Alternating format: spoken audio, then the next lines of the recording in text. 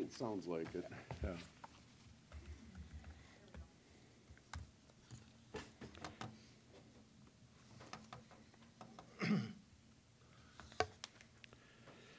You guys let me know when we're live and, Sure. I, oh, now we can start. Sheriff Hey, Nelson's here. Now we can, now it's a party. You're, li- you're live. You said we're live. I know we're live. We're live? We're live. Okay, we're live. Now we can start, I guess. All right, well, we'll, uh, we'll call our Metro Management Council meeting to order. It's our December 15, 2021 meeting. Uh, we do have a quorum with, um, four of us. Uh, Counselor Erickson is absent today, so we'll get started with our first order of business, item one, which is to approve our agenda, which is in front of y'all, so just need a motion to approve that, please. So moved. Second? All right, motion by Karsky, second by Beninga. All those in favor say aye. Aye. Opposed? All right, that passes. Uh, Item two, public input. Anyone here for public input today? All right. Hearing none there, we're going to move to item three. It's our minutes from our last meeting, which was back in August. Uh, Those have been provided to you all for review, and if there are no changes, I need a motion there to approve those. Move to approve? Second. All right, motion by Kylie and seconded by Karsky on that. All those in favor say aye. Aye. Opposed? All right, minutes are approved. Move to item four, our direct report from Scott. Scott, afternoon, man. All right, good afternoon, Mayor and council members. We have a kind of a marathon agenda today to work through, so I'll just go ahead and get started. Um, First item is kind of a staffing report for you. Uh, Metro has experienced improved retention of staff, uh, having received only two resignations of full-time, non-probationary staff this year. Um, One of those operators has returned to us in a temporary status, so uh, we really appreciate him coming back into our agency to, to provide uh, some additional hours. In 2021, uh, two operators completed the 26-week training program that we have. Uh, There are three that are currently in training and five that did not complete the training. I think that's uh, an indication of how complex and uh, difficult the work is, is that in some cases, as we go through our training phases, um, operators decide that uh, it's more than, more overwhelming than what they expected. So um, that does sometimes happen in our environment. Uh, Currently, Metro has three vacant operator positions. Um, We're intending to fill two of those on December 27th with a, a new recruit class that we have starting, so. Uh, Recruitment has remained strong throughout the year for us. We have seen increased interest from applicants residing, residing outside of South Dakota. Um, This year was our first year of continuous application process, which has given us, uh, it's been successful for our agency to do that. It's given us some flexibility both for the candidates, especially uh, folks that are applying from outside of the state, and it's given us more flexibility as a leadership team to coordinate all the resources that go into the application process. So um, I'm going to give credit to the Anna on that because that was her idea to move to a continuous hiring process, and it's worked out well for us. Uh, The second item is, is an update uh, pertaining to the 9-1 profession. Um, Like many professions, there are staffing shortages across the nation. There uh, is some difficulty recruiting operators across the nation. And uh, what we're finding is that uh, through professional 911 publications, that many of the larger public safety answering points are struggling to, to find those operators, and they're, they're operating at 30 to 40% vacancy rates, um, which makes it really difficult when you're in the emergency communications business. Uh, This trend right now appears to be occurring outside of the borders of the Midwest region.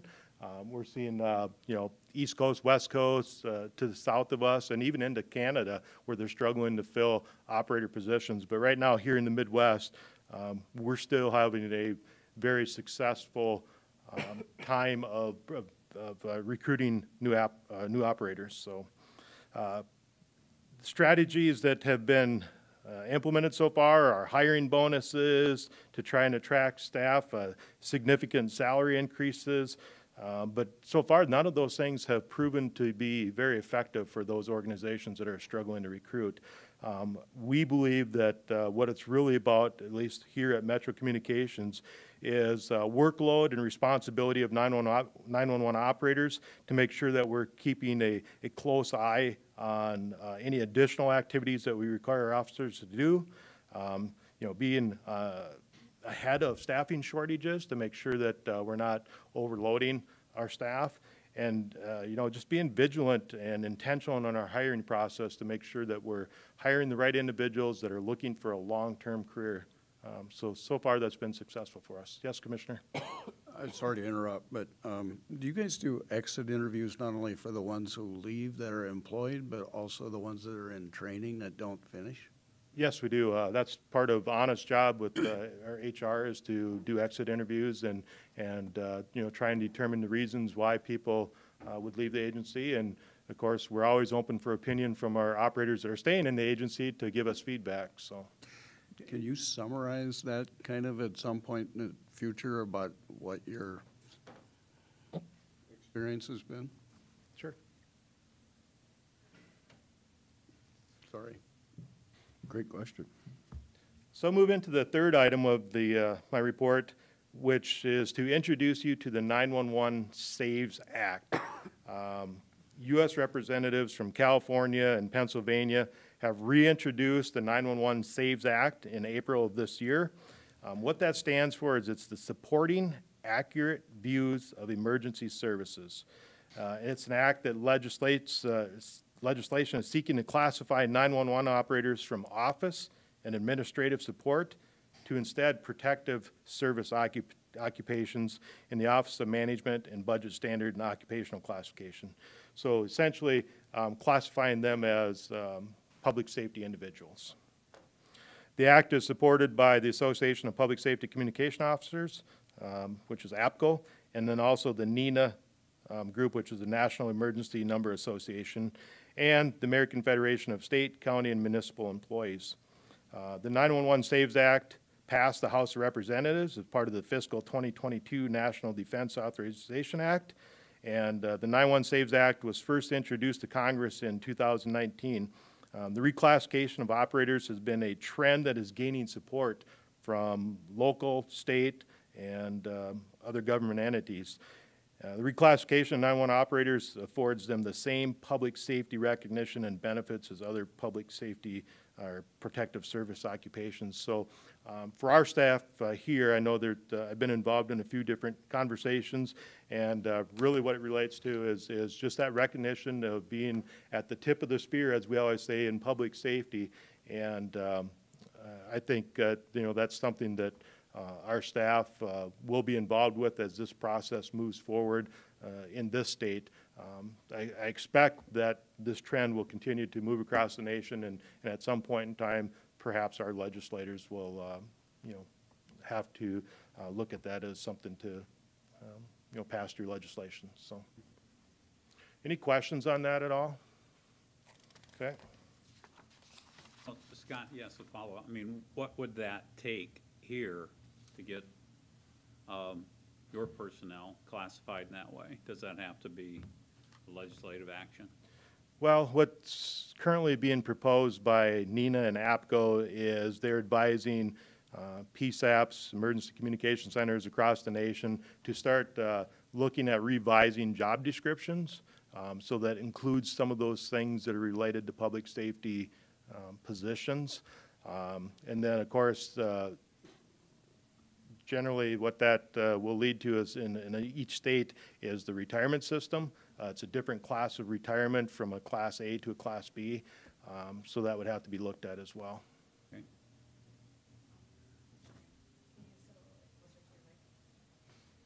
I, I will when I talk, yeah. Okay, um, we'll go to item number four. Uh, In 2019, Metro established a retention committee to explore retention strategies amongst our staff. One of the ideas that uh, came from that group was to explore the implementation of a 12-hour shift and a 36-hour work week. Um, The purpose of this 12-hour shift is to promote a life-work balance by having more days off to provide an additional rest period between, uh, uh, you know, their days off and, and coming back to work. Uh, A recent survey of our staff indicated that we had 20 operators that were in favor of a 12-hour shift. We had 17 that were opposed, and we had seven that were indifferent. Um, Some of that opposition uh, was not necessarily to the 12-hour shifts, but instead they needed more information about how it might impact scheduling and, and other things in the organization. Uh, In order to maintain that same level of coverage, four additional operators would need to be hired, but our financial goal is to defray uh, much of that cost of the additional operators through reduced hours due to the 36-hour work week.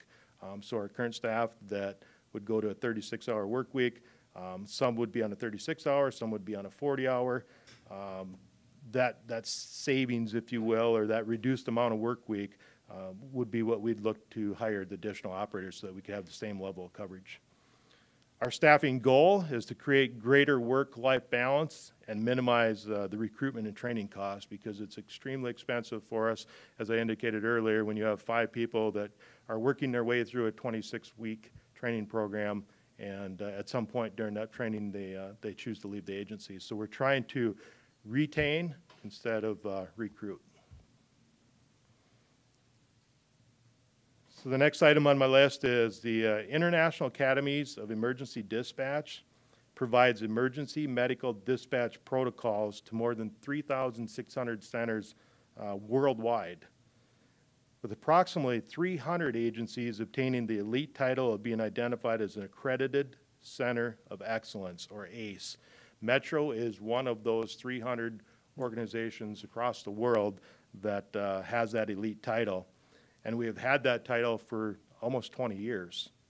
Um, Metro began its three-year accreditation process this fall, and upon submitting all the necessary information and, and other things that our case reviewer needed, uh, it was discovered that Metro needed to make some adjustments in our call taking in order to retain our ACE certification.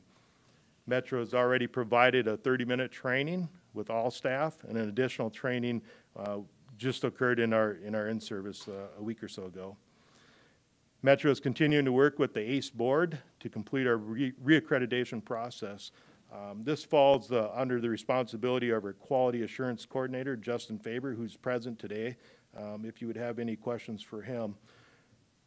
What I would say is that Metro operators are doing an excellent job right now in providing emergency medical dispatch service. Our performance uh, based upon the 25 calls that we submitted to the ACE accreditation agency. Uh, They said that uh, there were zero chief complaint errors, zero pre-arrival instruction errors, zero final coding errors, zero diagnostic errors, and zero protolink uh, errors. Um, The adjustments that we need to make are all script standards. So in other words, um, they're requiring us to read the protocols word for word versus interjecting words that might uh, um, sound more personable or friendly or softer. Uh, It is common for experienced ACE agencies like Metro to make slight deviation from script in order to become less robotic uh, and more personable in the call-taking process. While these deviations uh, don't present a legal challenge in most cases, any deviation from the protocol as they are written has the potential risk for error in questioning.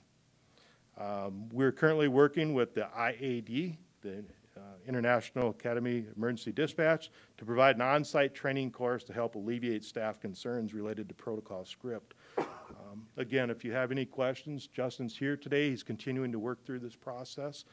Um, But uh, it's, uh, it's definitely, uh, the ACE accreditation piece is, um, it's a long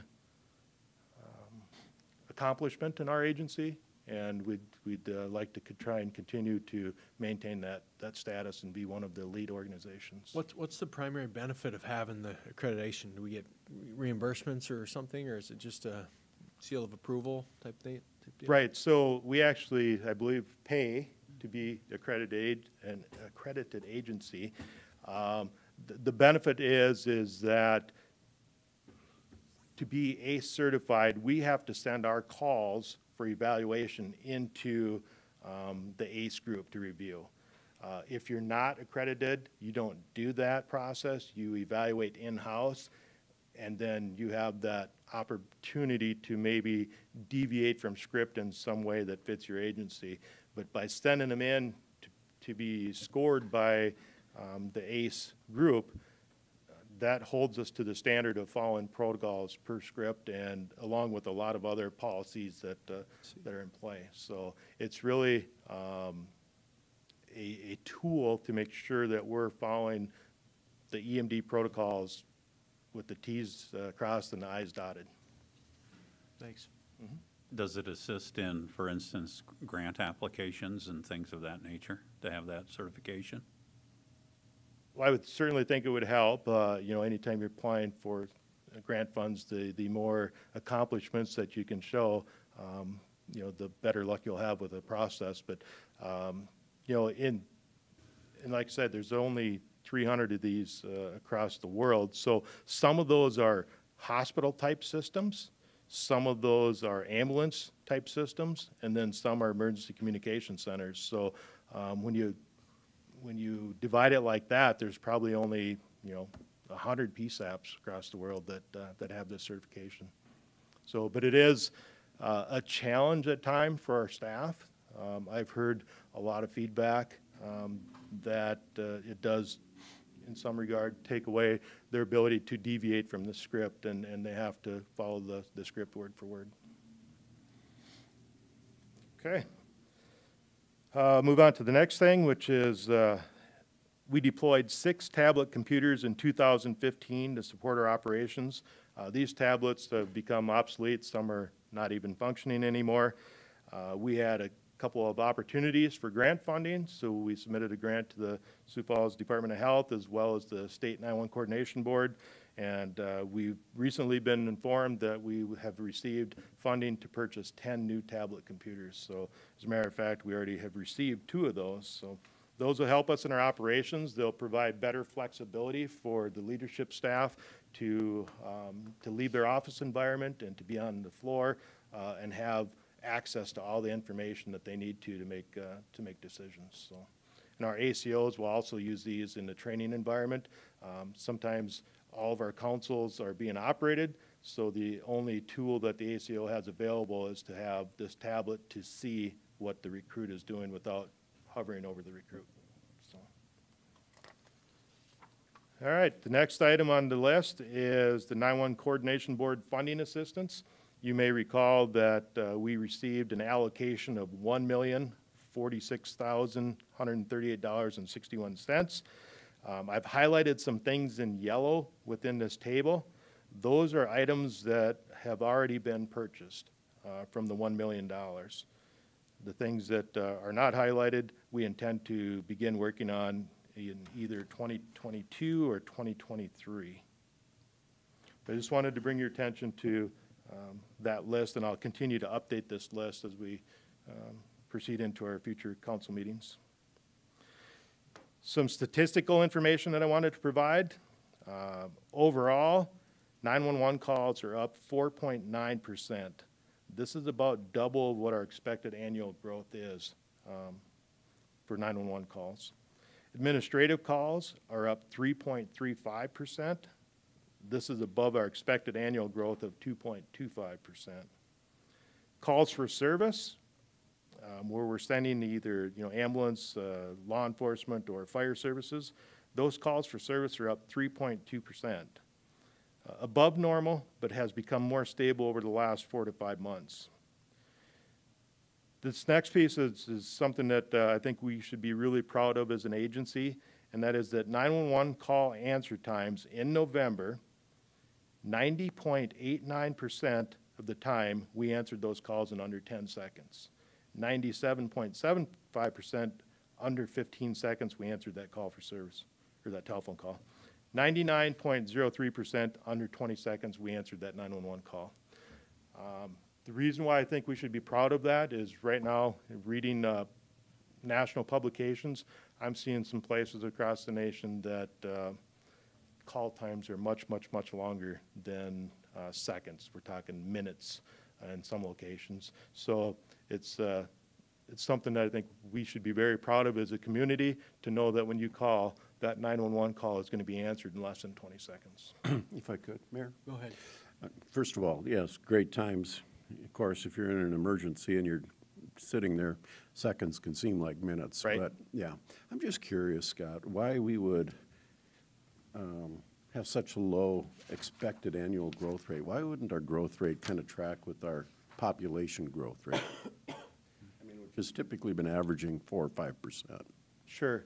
So, y- you know, it, it depends on a lot of different things, but calls for service, um, you know, will always, appears to always kind of follow what your population growth are, but there's so many factors that can change that. Um, you know, sometimes it's the size of the community, sometimes it's, uh, other aspects of public safety, sometimes it's, uh, um, you know, there's just a long list of things, uh, social services, all those things that, that can become involved that, that change um, how many calls for service a community will have.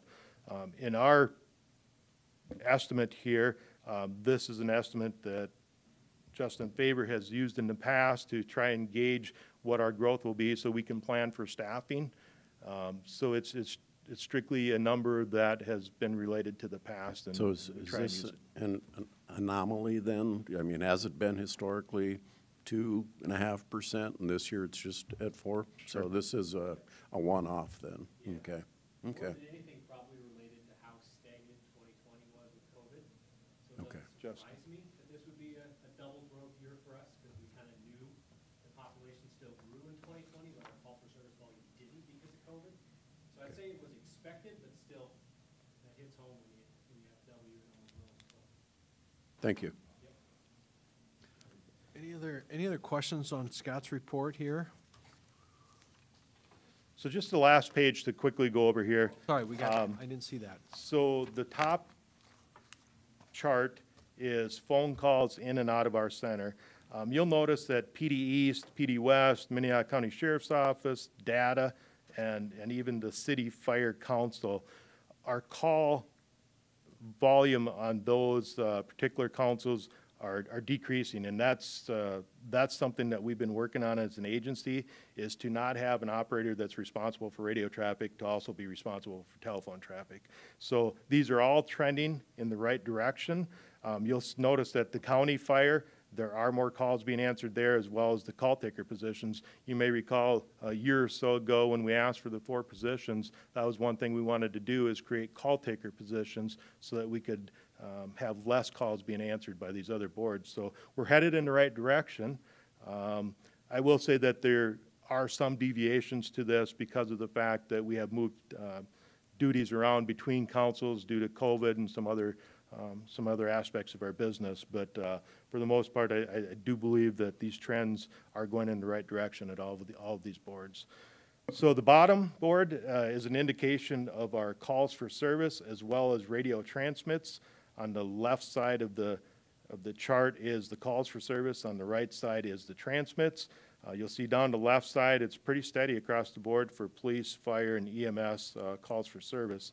Um, On the right side, uh, same thing, you'll see that uh, under the police, you know, we're at the um, three-plus million push-to-talks annually. And uh, we believe that that is uh, a bit of an indication that that number likely won't be able to rise because we are at what's called agency occupancy, meaning that the staff that are at those boards are doing all that they can already, so they can't do more. So that, why that, that's why that number appears to have leveled off, is because they're already as busy as they can be. And that, Mayor, is uh, the end of the director's report. All right, thanks, Scott. Any other questions for Scott on his report there? All right, we'll move on to item five, our 2022 meeting schedule, uh, draft schedule. It's at the bottom of the agenda there, uh, what's being proposed. Uh, Unless there's any conflicts, anybody knows off the top of their head, we'll just roll with that. Yep. It's all good. I don't think we need a formal action on that, but that will be our 2022 schedule. Uh, I'm gonna miss the August and December ones. Yeah, you're, you're terming out, man. We got, we got one more with you? You Uh, can Two more, we got two more with you. Yeah, you- you can Two still more. go. Yeah. Yeah, I could. And Yeah. we- And we get an upgrade. All right, yeah. Um, That's a great point, though. In, we will lose both Counselor Erickson and Counselor Kylie next year off this council, because they're both termed out as counselors, so there will be new uh, assignments to this uh, council mid-year um, per our bylaws, so. Uh, Item six, approval of eight hours of administrative pay for December 24, 2021. Sure. In previous years, the Metro Management Council approved eight hours administrative pay for Christmas Eve. Um, In the past, it's been a practice that's been similar to other local governments. Um, Metro Communications Bargaining Agreement and Personnel Manual recognizes December 25th, Christmas Day, as a paid holiday, but not Christmas Eve. Um, I- I'm submitting this uh, for your consideration, and I I understand that uh, there may or may not be some differences with the holiday landing on a, on a weekend this, this time around, so. We're What's, open. what's the historical context on that? How do we do this in the past? Typically, in the past, um, the Metro Management Council has approved, uh, at least in the recent years.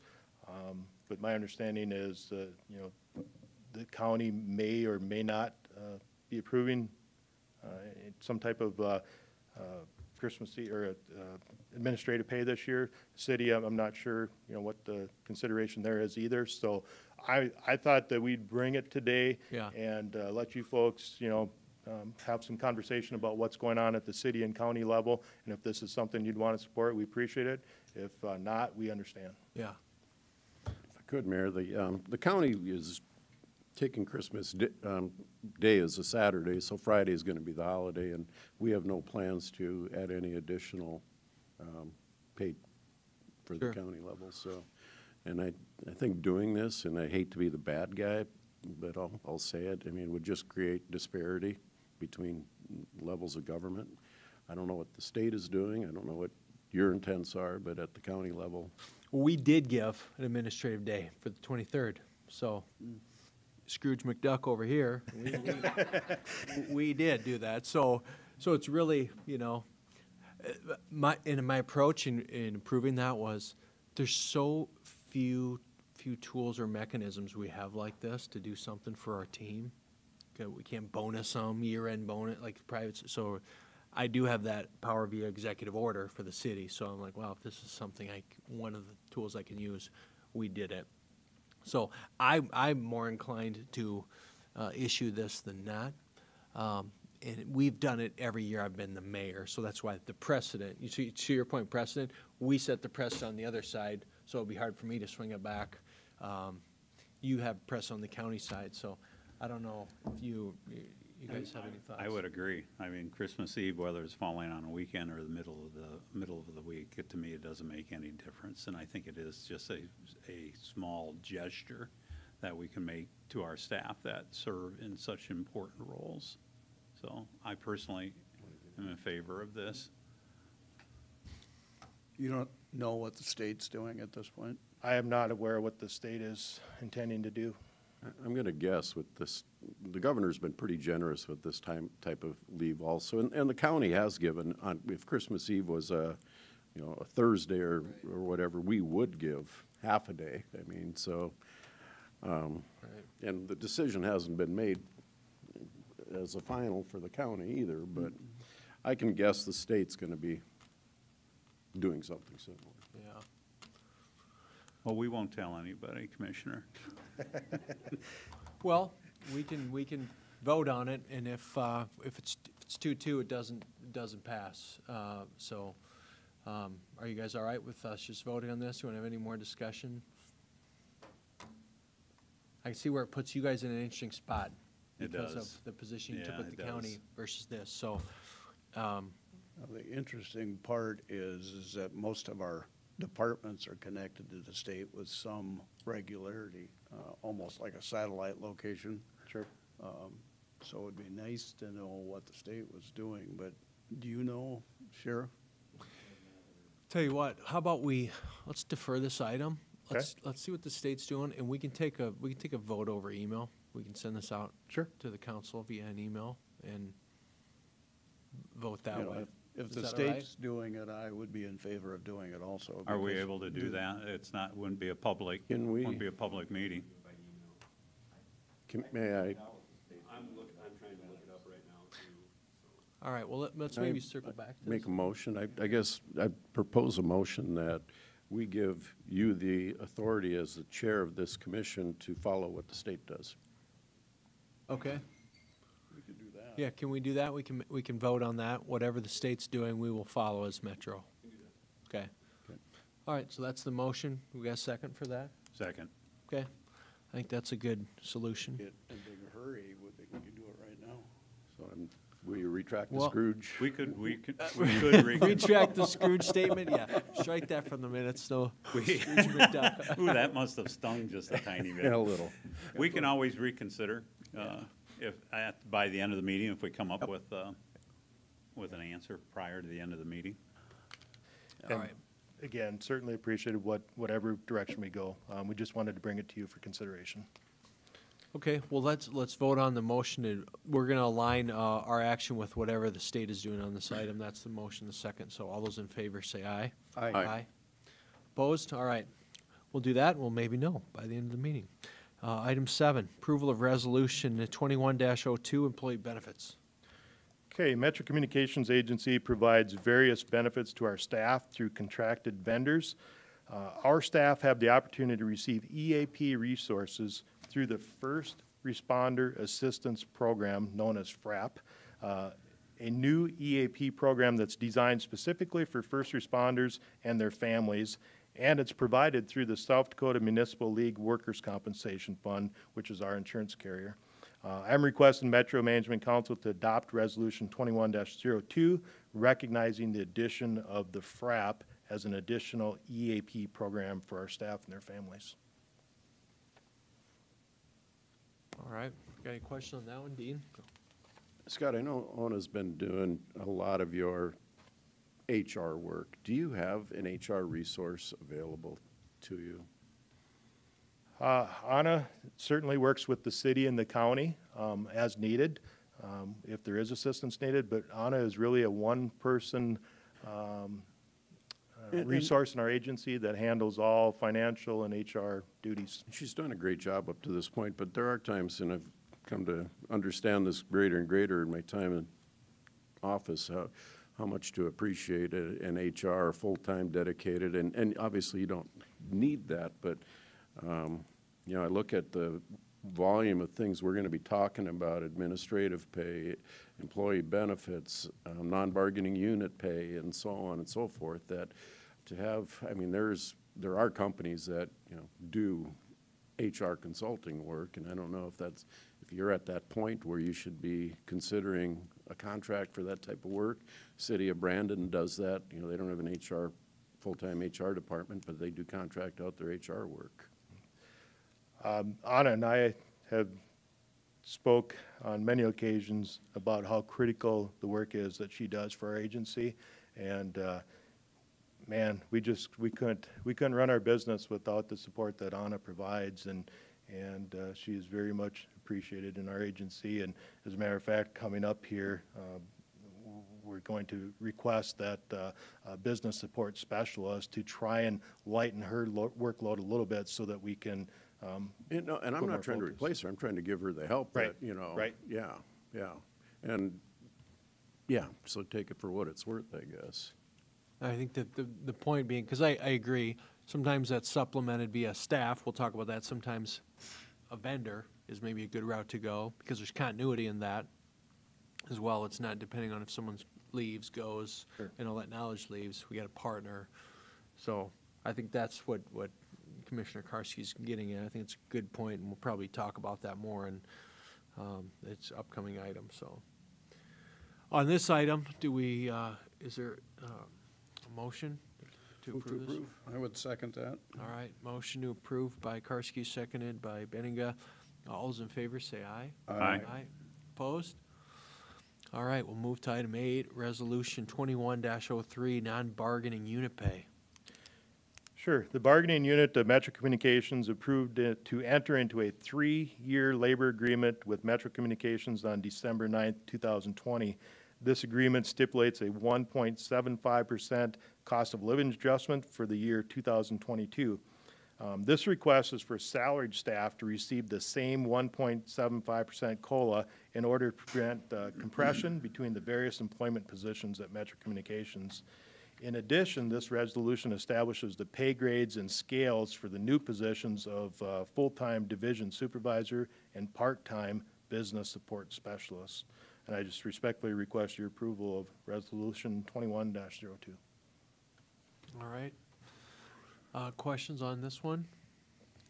I don't have a question, but I will tell you that I think we have all experienced across whatever business we're in or public relationships that cost of living is above one point seven five Yeah, significantly. yeah, this, What's, I'm sorry. Go ahead, no, go ahead. What is it one percent pay raise equal to for an annual? About thirty-five thousand dollars in our, in our organization for Okay. one percent.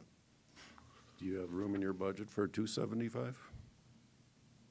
Uh, we do have, um, another agenda item coming up towards the end that, uh, involves some negotiation of wages.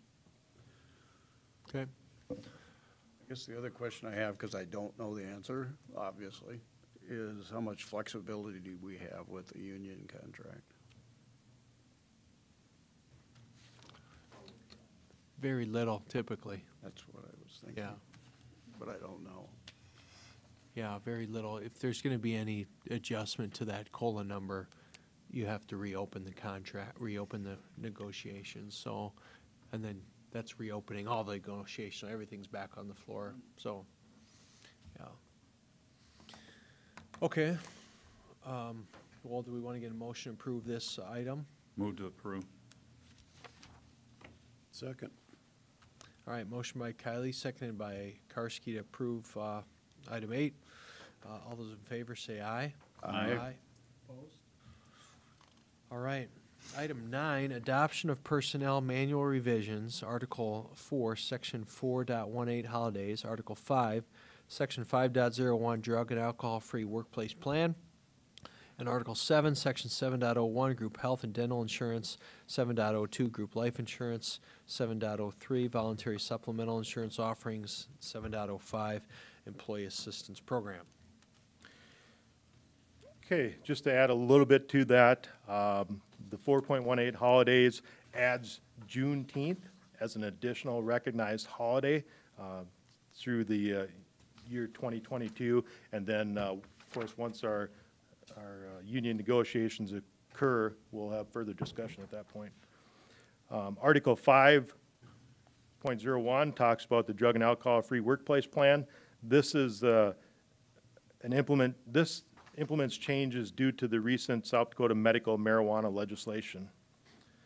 Article seven point oh one, group health and dental insurance, um, as well as the seven oh two, which is group life insurance, and seven oh three, voluntary supplemental insurance. These revisions clarify the definition of full-time staff and eligibility for benefits. So forty-hour work week, thirty-six hour work week, um, just identifies that. And then Article um, seven, section seven oh five, Employee Assistance Program. This revision adds that First Responder Assistance Program as a new EAP program for us, um, which we talked about previously. Uh, Reminder to me on that, the EAP program's new for you guys? It is not new. We've traditionally had EAP services. We do still have uh, family services here in Sioux Falls. This is just an additional um, uh, resource for us and our Okay. staff. Okay. Okay. All right, any questions for Scott on any of these? We're gonna uh, adopt all these in one fell swoop here.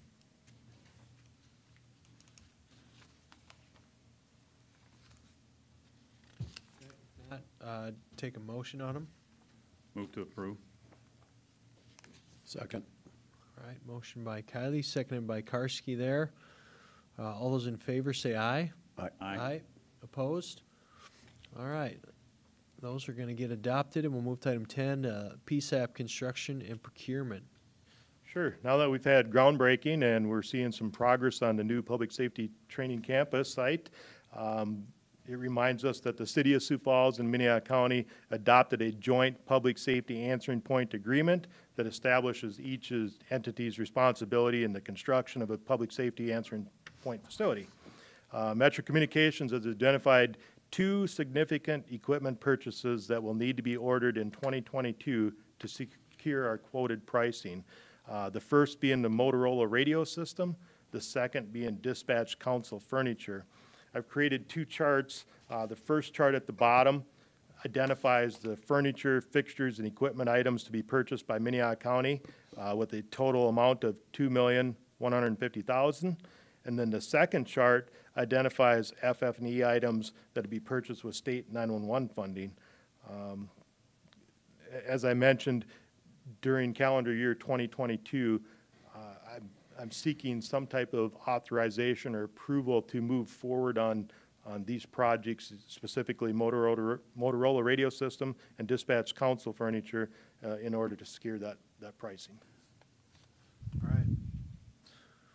And this, uh, Sean Pritchett talked to me about some, some purchase we were gonna defer. Is that, is that an upcoming item?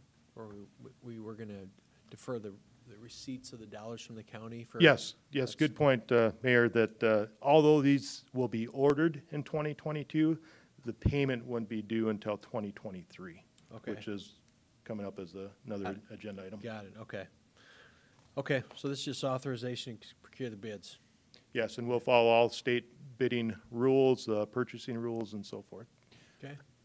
Scott, I thought we had a contract with Motorola to provide those. We do, um, and like I said, I have to, I'd have to order that later this fall, or excuse me, in fall So of they're still under 2022. contract, basically. Motorola is under contract, um, Okay. but at, at some point, I'll tell them to go ahead with that, that order. And then the furniture, uh, the dispatch console furniture, I've been in contact with, uh, our pref, preferred vendor, and, um, I'm being told that furniture shipping costs and so forth is rising Imagine that. pretty dramatically. Um, So we're just trying to lock in that pricing. Um, We've had a couple different thoughts about how to do that, but at some point, I would have to order some, some of the items, if not all of the items, uh, with a payment due in 2023. All right, thanks, Scott. Any other questions on that one then? All right, take a motion on it. Move to approve. Second. All right, motion by Kylie, seconded by Beninga. Uh, All those in favor say aye. Aye. Opposed? All right, that one passes as well. Uh, Item 11 is the revision of the Joint Public Safety Answering Point Agreement as a supplement to the Joint Cooperative Agreement for Communication Services. Okay, in 2021, the city of Sioux Falls and Minnehaha County adopted the Joint Public Safety Answering Point Agreement, and that's a supplement to the Joint Cooperative Agreement for Communication Services, which was ad- adopted on December 20th, 2010, with an effective date of January 1st, 2011. Section 5 of the Joint Public Safety Answering Point Agreement obligates Minnehaha County to deposit into Metro Communications Agency account the sum of two million one hundred and fifty thousand dollars on or before January thirty-first of two thousand twenty-two. The revised agreement changes that date of deposit from January thirty-first, two thousand twenty-two to January thirty-first, two thousand twenty-three. And it's my understanding the rationale behind this is we don't need the money next year. Correct. So Carol's going to go make some interest on it for a Correct. year and then we'll get it. All Move right. approval. Second. Okay, motion by uh, Karsky, second by Beninga to approve this item. Uh, We will take a vote on that. Checks in the mail. Yeah. All's in, fa- all- all's in favor, say aye. Aye. Opposed? All right. That's, that passes. Item 12 uh, is the approval of the 2022 Minnehaha County Metro PSB lease agreement. Sure. Metro Communication leases four thousand two hundred ninety-six square foot of space from Minnehaha County within the public safety building. The lease, the lease is renewed annually and runs from January first to December thirty-first. According to the two thousand twenty-one lease agreement, the lease rate will increase at the Midwest Urban CPI Index six point five six percent, which results in a seventy-eight cent per square foot increase from eleven eighty-eight a square foot to twelve sixty-six a square foot, for a total of fifty-four thousand four hundred dollars and seventy-seven cents, paid in twelve monthly installments of four thousand five hundred thirty-three dollars and forty cents. All right. Any questions on that? Wasn't this part of the agreement we had with the construction of the facility, and we were gonna use this as a backup, so we'd already kind of agreed to this lease. There is a, a change for 2023 where that, Oh, okay. that language will be Gotcha. changed. But for this year in 2022, it remains the same as the previous Okay. lease. Is that a motion? Move for approval. Okay, Second. Kylie? all right. Motion by Beninga, second by Kylie to approve this item. All those in favor say aye. Aye. Aye, opposed. All right, that one passes. Uh, Item 13 are uh, financial statements as of uh, November 30 of this year. Okay, I'm going to ask Business Manager Anna Raker to step up and uh, review those with you. Hey, Anna. Hi, good How are you? afternoon. Good, how are you? Good. Good. So I know these numbers are pretty small. You all have packets, and for those of you here in attendance, there are packets if you, if this is too small for you to read. So you have in front of you your financials for the tw- 11 months ending uh, November 30th, 2021. And uh, we'll start out with the balance sheet. Um, One of the things that's going to jump out at you with the balance sheet is that um, our cash has improved substantially from a year ago. The balance sheet looks at the same period um, in the prior year. And really, that increase is due um, in great part to the fact that when we budgeted for 2021, we budgeted to add to reserves rather than use reserves, which had been our, our focus in prior years. And then the other thing you have going on is a year ago, um, we were um, we had a delayed receipt of 911 surcharge revenue. I don't know if you remember that, but they were just a little slow in getting those revenues out, and that's over $200,000. Um, So the combination of all of that explains why our cash is a little higher this year. It's, it's, it makes sense. It's, there's nothing unusual about it. Um, The other thing I will point out is um, uh, the due from state and the due from county, we've exceeded our estimated um, uh, receivables that we put together at the end of last year um, in our um, audit report. And so we're doing well there. Um, Just uh, scrolling down a little bit, hold on here, I'm going to get to a different sheet myself.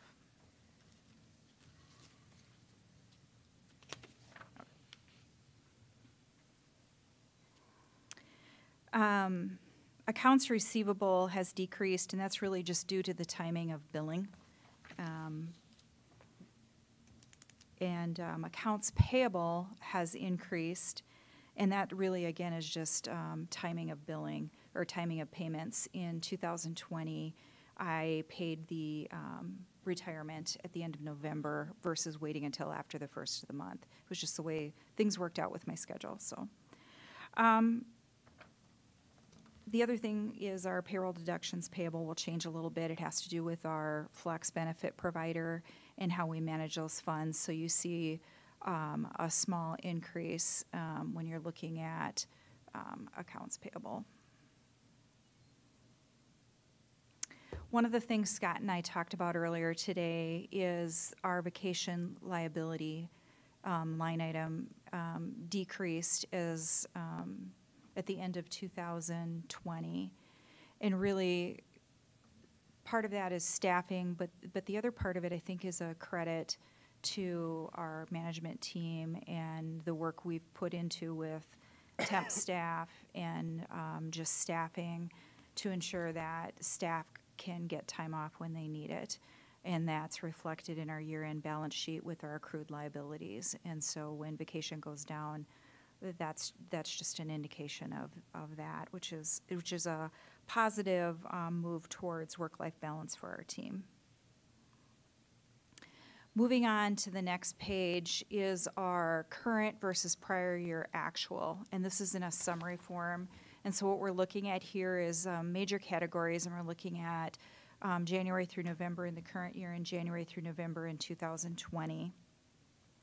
And you'll notice there the difference in surcharge revenues, and that's what we talked about earlier, is that a year ago, we just, they were delayed and they didn't get our November, our ch- November check arrived at the same, around the same time as our December check. City and county support shows a budgeted increase, um, which we knew, and that reflects that. Um, the services increase really is in great part to EMS transfers. Um, we had a rate increase, plus our numbers are a little stronger this year as compared to last year. And last year, if you recall, we had a little bit of a decline, and it was around the time COVID occurred. I'm not sure how to really relate that, but people were maybe going out less, less activity. Grants, when you're looking at grants, um, this includes local funding streams. And Scott has mentioned to you before how hard we've worked in the last couple years to secure other funding opportunities. And so um, you do see that um, increase um, that from, from last year to this year. The other thing I'll mention, Scott, Scott talked about the Work Surface Pros, and we just secured some more grant funds this, late this fall. So you're gonna see that number increase by the time you see your December report when we meet again um, in the spring. So we've done a great job of trying to utilize those resources to alleviate pressure on the city and the county and Metro's cash flow. Our other revenue decrease is really, a lot of that is interest. You know, not knowing when we budgeted where um, the, that the um, pandemic was going to happen and what was going to happen with the economy. Moving on to expenditures. Um, Personnel, uh, personnel increased about fifty thousand dollars. It's really reflective of COLA and step increases.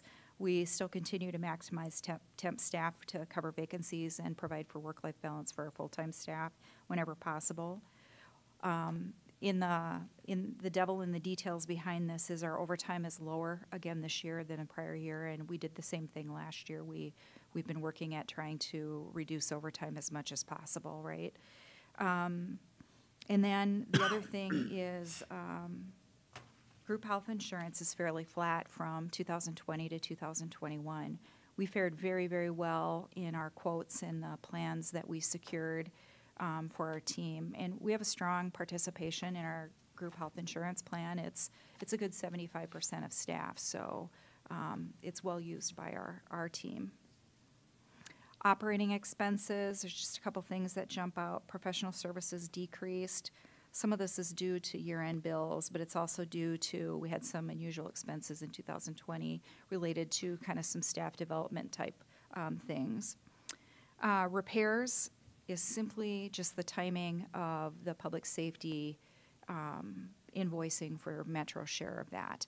Um, they billed us in December last year and November this year, and so we paid it timely, and that's why it shows differently. And that's a significant bill.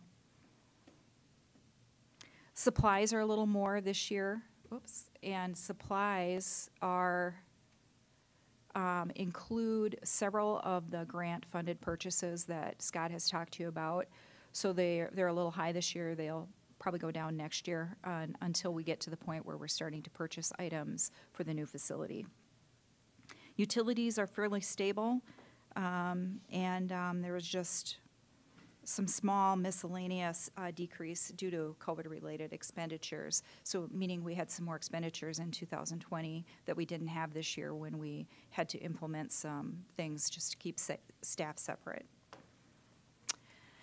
Moving on to our budget report, and then this one is um, the comparison of year-to-date budget, year-to-date expenditures, and the variance in dollars. And then we look at the percentage of our annual budget. So there's two um, items that you see in this particular um, purview.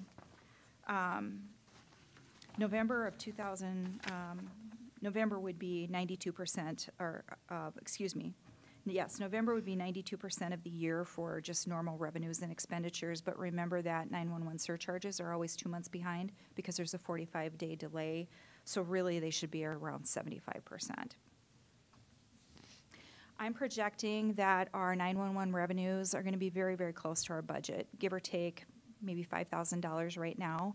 Um, I don't have any control over what's gonna happen over the next three months, but right now, it, we, we seem to be on track, and there hasn't been anything out of the ordinary, so that's looking pretty good. I think we'd all love to see them go way up, um, but we know that they've been, we've been increasing our subscriber lines, um, but statewide, the numbers still remain fairly flat. And so we seem to be getting a bigger piece of the subscribers because of our population growing. But when we look at the incentive dollars, remember those are still a single pot of money. And, um, and so if the statewide numbers are kind of going down a little and ours are going up, they're remaining flat. And so we're not seeing the growth in that particular pot of funds. Those are staying pretty stable. Um, when we look at our budget, um, all of our PSAP um, billing has been submitted and received. Um, Audio fees have increased a little bit this year. That's a very volatile number. It can change from year to year, but um, we've had a great year for audios. And then um, Paramedics Plus, both the rates and the numbers of transfers have increased.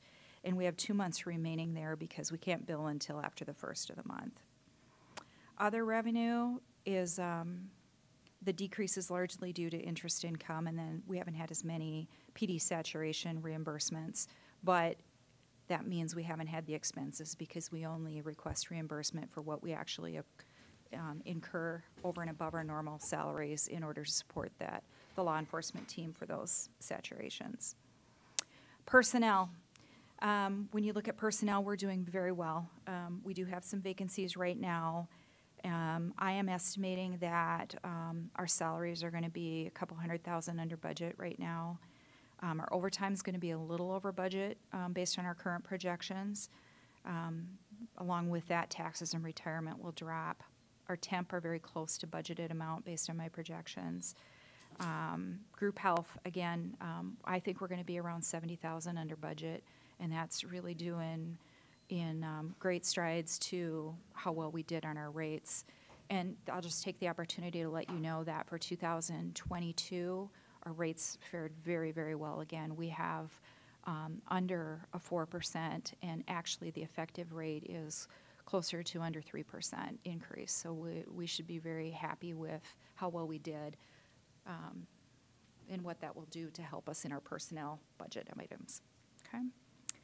Um, when you look at expenditures, uh, maintenance contracts, um, talked about that, that we, we're billed in November this year instead of December, and so, um, that shows there. The, scrolling down to dispatch communications and, um, the amount there, um, our SIP lines ended up being a little more expensive than what we originally anticipated they would be, and we've talked about this earlier this year. Um, but as we get to the end of the year, that increase is becoming more and more obvious. So just a reminder that we, we knew that once we got in. Our original estimate was, was a little lower than what they actually ended up being. What is that expense for specifically? I'll let Scott talk to you about that. Sure, the SIP lines helped us to build uh, better redundancy into our backup center uh, by having the standard internet protocol uh, ability at that uh, backup center. We can now add additional phones. Otherwise, we were limited to the six positions we had down there. But um, by having this avail- availability, um, we're able to establish more phone, um, uh, soft phones through a a laptop computer. Um, You know, we Are can we- set Are up. a- we talking about dispatch communications? Yes, Okay, yep. okay, okay.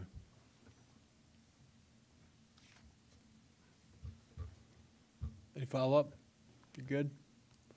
I might ask questions privately, I'm just trying to understand it, but yeah. So we kind of were anticipating it might get to where it is, but, yeah.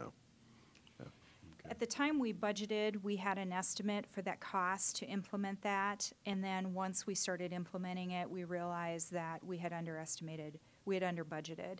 And so we, earlier in the year, when we only meet a few times a year, it wasn't quite as obvious, but, but we knew that by the time we got to twelve months at that rate, it was gonna be a little more significant.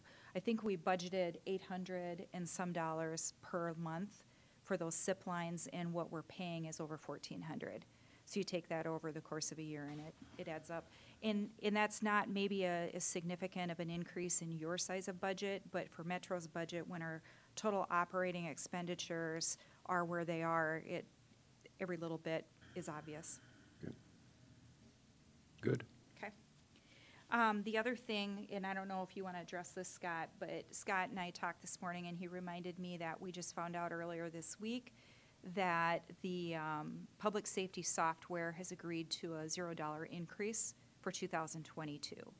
And that's a nice thing for all of us. And Metro's share of that cost is over $60,000. And that's the bill I mentioned that um, you see the adjustment from last year to this year because we had been paying it in December and we paid it in November this year. But, um, you know, the share for your departments is obviously much greater than Metro's. So it's a, it's a significant item for all of us. Okay, other, other questions uh, on the financials for Anna? All right. Uh, Looks like there's an amendment, though, that we need to consider on the budget. Is that correct? Yes, and Item- would you um, accept, a motion to accept the? Oh, yes, I'm sorry. I That's need, I okay. need a So motion to moved. accept the financials. So moved. Second. All right, motion by Karsky, seconded by Kylie. All those in favor say aye. Aye. Opposed? All right, those are accepted. Item 14 then is uh, approval of a 2021 budget amendment. Right, so we're requesting a budget amendment, and the reason for this amendment relates back to the funding um, streams that Scott is in our team have been able to secure. And some of these items we've been able to absorb within our budgets just due to savings in other areas. Um, But my request uh, for the amendment would be that um, you make a motion to amend our budget to increase operating expenditures in the amount of fifteen thousand, capital outlay in the amount of seven thousand, funded by increased revenues in the amount of twenty-two thousand.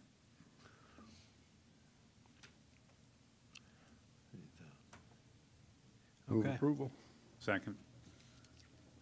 All right, motion by Karsky, seconded by Kylie to uh, adopt this amendment as presented. Uh, All those in favor say aye. Aye. Aye. Opposed? All right, that is going to pass. Uh, Item 15, exec session. Uh, do- I don't believe we have uh, any exec session We do have a need for an Needs? executive session. We do, okay. Okay, well then, um, move us into exec session. I need a motion, I always forget how to do this. I need a motion to move us into exec session. Anna, is that how it works? Mhm. Okay. So moved, Beninga. All right, motion by Beninga, second by Karsky to move us into exec session. All those in favor say aye. Aye. Opposed? All right, we'll, uh, we'll break out, jump into the side room, and then we'll be back in here when we call us out.